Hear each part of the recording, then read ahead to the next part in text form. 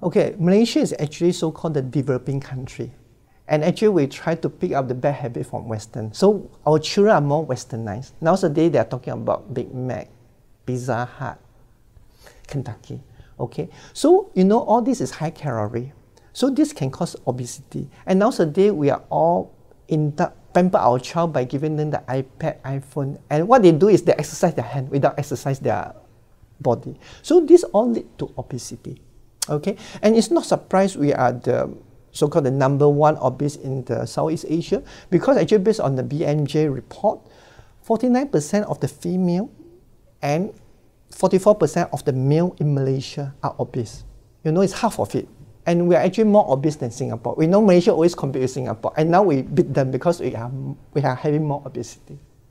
Okay. And we know obesity is not good because they are associated with many medical illness. For example, if you got obesity, you are more prone to get hypertension, high cholesterol, diabetic. Okay, and as a result of these three, you're more prone to get ischemic heart disease, even heart failure. Okay, and on top of that, you also can more likelihood to run into stroke and cancer. So obese is not good.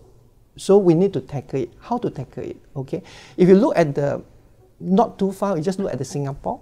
Actually, the health promotion board is doing a lot of things. They actually go down to the grassroots. They actually roll out the road show to educate the school-going children to tell them the worst about obesity. So they actually educate from young. So they tell them what is a healthy diet.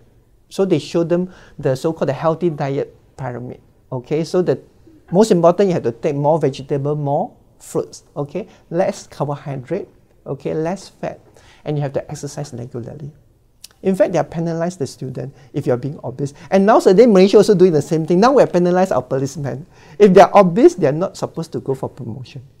Okay? So again, for the obesity, how we tackle it is very simple. We always talk about lifestyle modification. So first, we have to eat healthily. We try to take a lot of green vegetable and fruits. We cut down the carbohydrate. We go for the limit. That's the diet. Okay. Now you go for the exercise. Mainly you have to exercise at least three to five times a week. Okay. If you're going for three times a week, 45 minutes a, a day. And then if you go for the five times, it's 30 minutes each. That's thing. Okay. It's very important for them to measure their weight at home. It's a simple thing. Okay. If you get a weighing scale, you have to set a target. Okay. We use the BMI. Okay. You know, giving the height you should have a so-called the ideal body weight. Our normal BMI is range between 20 to 24. If you're more than 24, you're being obese. Okay, so from your height, then you can calculate ideal weight. Then you weigh yourself.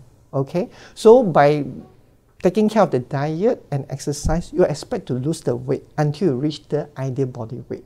So ideally, we can allow to lose weight around 500 milligram a week. So that's 2 kilogram a month. If you lose more than 2 kilogram means you're over aggressive. It's not good for your body as well.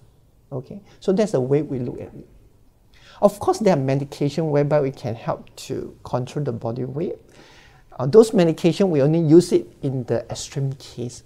Okay, the medication is being used by decrease the absorption of the nutrient and it can cause some diarrhea. By doing that, you can actually lose some weight.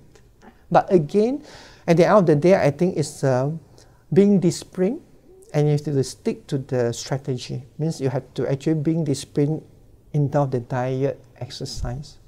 Okay, and if need to, you probably have to go for the medication under the supervision of the doctor.